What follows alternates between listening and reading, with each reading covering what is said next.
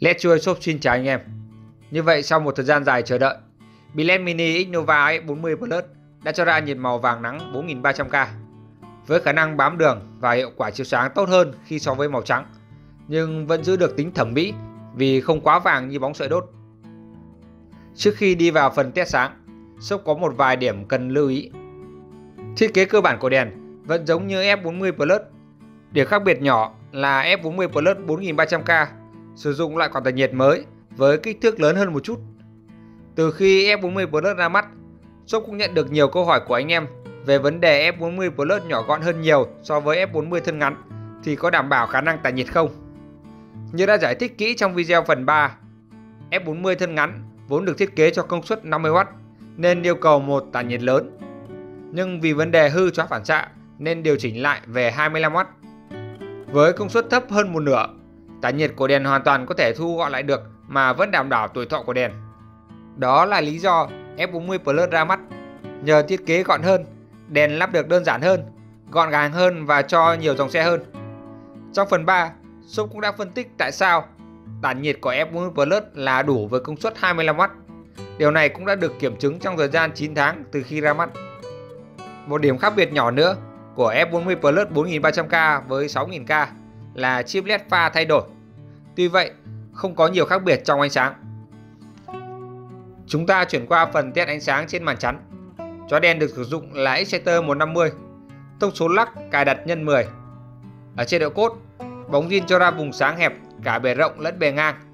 Cường độ sáng cũng rất thấp, cao nhất ở khoảng 50 ở dưới mặt cắt. Hai ô dưới chỉ còn 30 và 17. Với F40 Plus 4300K, vùng sáng của đèn rộng hơn bóng zin rất nhiều. Sự khác biệt là quá rõ rệt. Ở chế độ cốt, cường độ sáng cao nhất ở dưới đường cắt là 180. Các ô dưới lần lượt là 160 và 130. Thậm chí ở các vùng sáng rất xa khu trung tâm như ô số 4 và rìa bên trái, cường độ sáng F40 Plus vẫn đạt được con số tới 100 và 130. Ở chế độ pha, F40 Plus tuy không quá ấn tượng nhưng vẫn sáng tốt hơn bóng zin. Với con số cao nhất là 180 so với 125 của bóng halogen. Shop có hai lưu ý quan trọng ở chế độ pha của F40 Plus. Độ sáng chế độ pha của F40 phụ thuộc rất nhiều vào lòng chóa phản xạ phía dưới của xe. Lấy lồng chóa dưới X150 coi là mức trung bình thì lồng chóa pha của Way và Sirius là rất nhỏ. Chế độ pha của hai dòng xe này khá yếu do không hướng được ánh sáng từ chip LED. Trong khi đó, pha Vision lại khá tốt do lòng chóa phía dưới rộng hơn. Tuy vậy, chế độ pha của F40 chưa bao giờ được đánh giá cao. Đây là mẫu đèn thiên hẳn về cốt. Lưu ý thứ hai là pha của F40 Plus luôn mặc định nằm cao so với cốt và cần dùng ốc ở trên đỉnh chất đèn để điều chỉnh xuống. Hiện tại các bản F40 thân ngắn và thân dài trước đây cũng đã điều chỉnh lại ánh sáng về giống như F40 Plus. Không còn sự khác biệt giữa hai mẫu như trong video phần 3 của shop.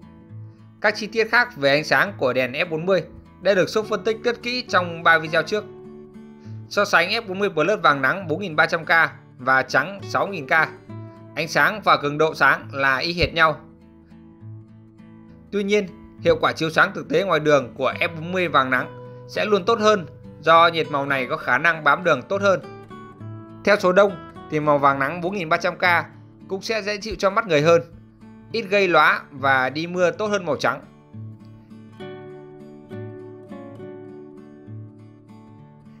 F40 Plus là một mẫu đèn tốt, đặc biệt phù hợp cho xe máy và các anh em chủ yếu chạy cốt. Với việc hỗ trợ thêm nhiệt màu vàng nắng bên cạnh màu trắng, F40 Plus chắc chắn sẽ đáp ứng được nhu cầu của nhiều anh em hơn nữa. Let's Joy Shop xin cảm ơn sự theo dõi của anh em. Hẹn gặp lại anh em trong những video tiếp theo của shop.